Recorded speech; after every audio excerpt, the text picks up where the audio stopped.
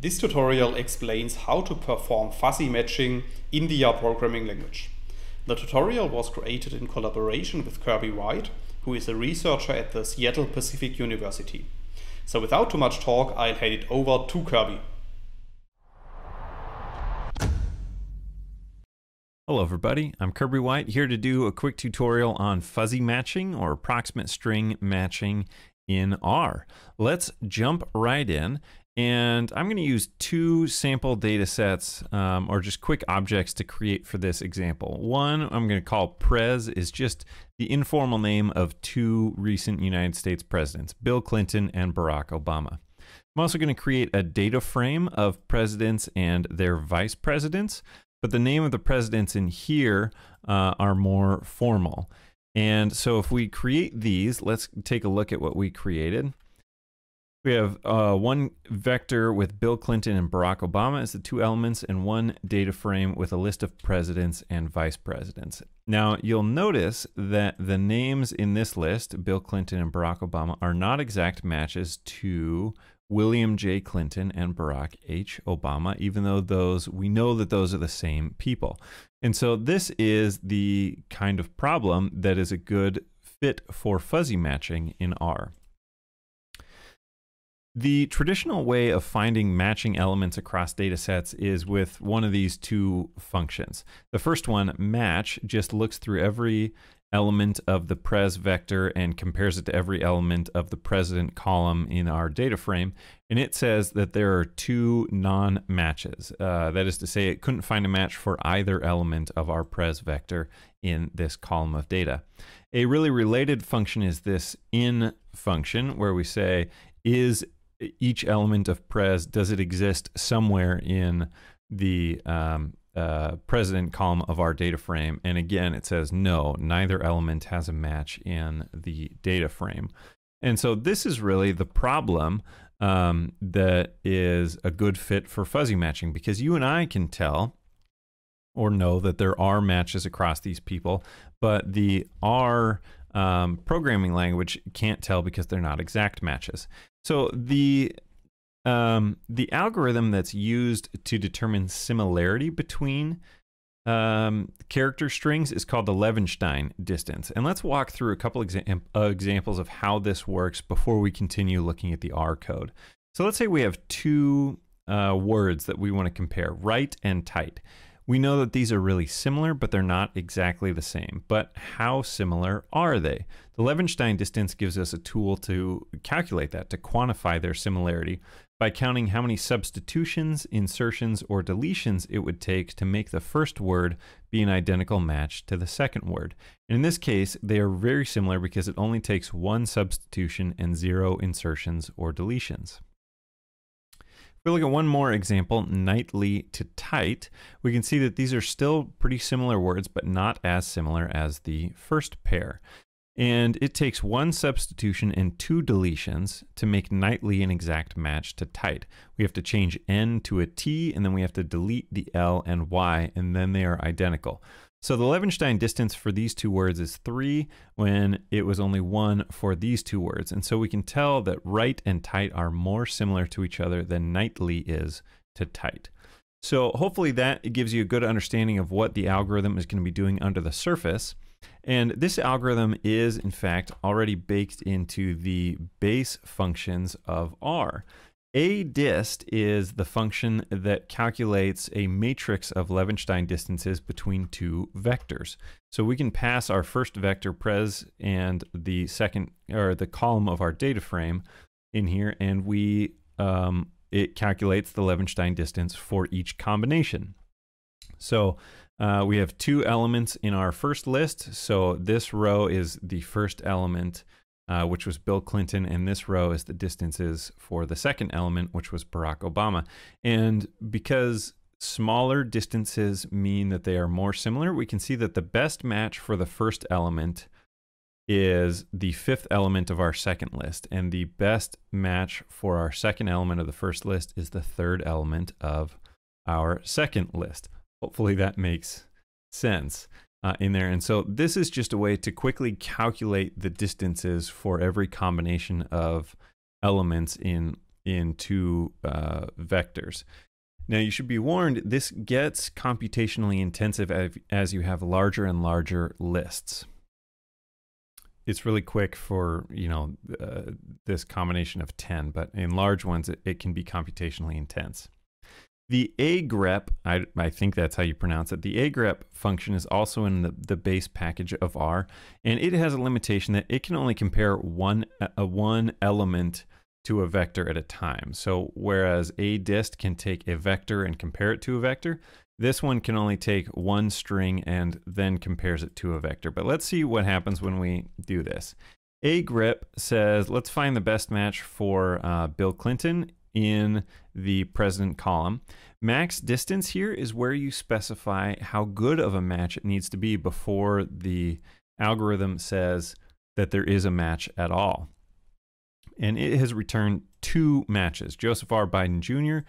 and William J. Clinton. These are the only two elements in our data frame that were this similar. Now, this 0.7, this is a ratio of uh, similarity. If we need things to be more exact matches, we can shrink it. If we're okay with a little more error or they don't need to be as similar, we can increase it. So 0.7 is actually a little bit on the high end. Now, the problem with this function is that it did not return the match values in order of their similarity. So you and I know that William J. Clinton is the best match for Bill Clinton, but the algorithm has not returned these in order. The first element is Joe Biden Jr.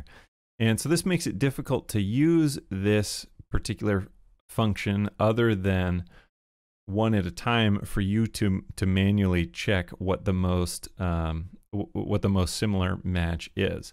It's still useful, but it can be difficult to to scale this up to large data sets. If we remove this value equals true argument, which I've done here, this is the same function but without that argument.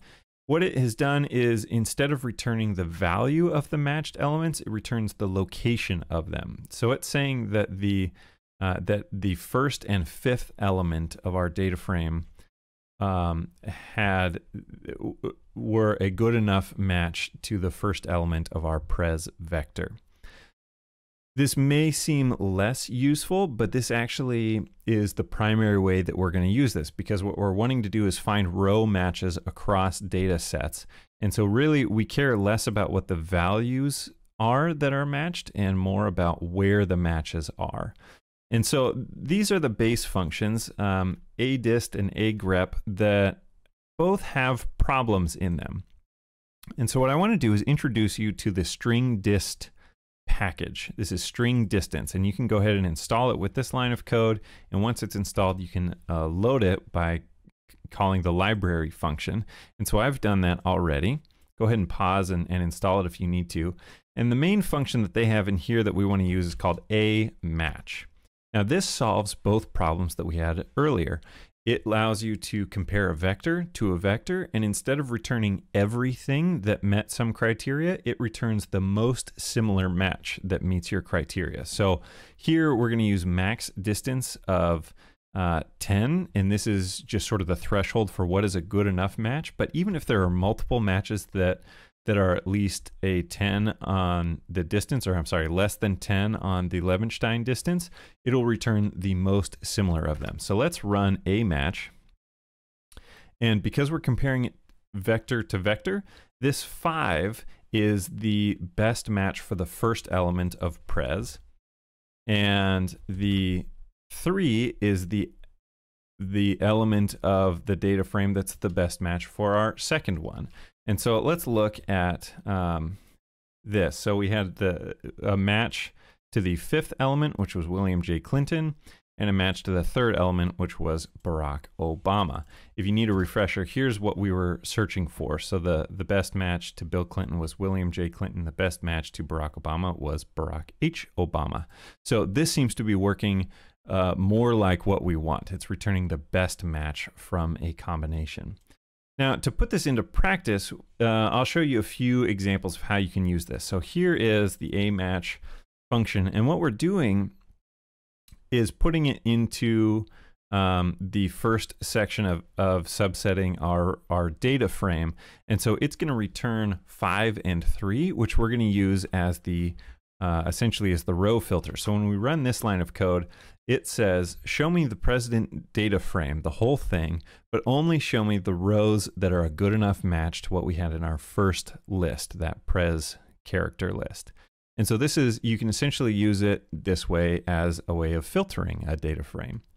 Another way that you might use it if you need to merge them at this point is create a new data frame. And I'm going to create a column called pres that is going to have the values of the pres um, uh, character list, which again is just Bill Clinton and Barack Obama.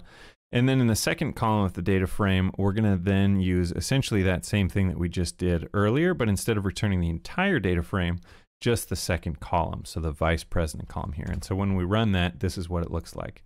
We've got the names from our first list, but the vice presidents from our second list, and those have been matched across um, across data sets, even though they weren't an exact match. This third one you'd probably use less often, but this is just a way of sort of creating a new vector that combines them before. You're going to take the the character vector of um, pres with the informal names and then combine that with the vice presidents from our data frame uh, fuzzy matching on the formal names of the presidents. And this is what you get uh, when you run something like that. So hopefully this has been helpful. I find fuzzy matching to be very useful in real world data analytics work, um, especially when you have minor misspellings across uh, names of employees or participants in something, or there are language differences where uh, somebody may have been entering information on a keyboard that has special characters that don't typically appear in the language that you're working with, um, those can throw off exact matches across data sets in a way that fuzzy matching allows you to very quickly overcome and find true matches, even though they're not exact matches. So I hope this has been helpful. I'll look forward to seeing you next time. Take care. Thanks again to Kirby White for his contribution to this video. In case you want to learn more about fuzzy matching, you may check out the Statistics Globe homepage, because Kirby has recently published a tutorial in which he's explaining the content of this video in some more detail. I will put a link to this tutorial into the description of the video, so you can check it out there. And furthermore, if you have liked the video, we would be very happy if you leave us some positive feedback in the comments. And make sure to subscribe to the Statistics Globe YouTube channel to get notifications in future when I'm releasing new videos to the channel. That's it for this video. Thanks a lot. See you next time.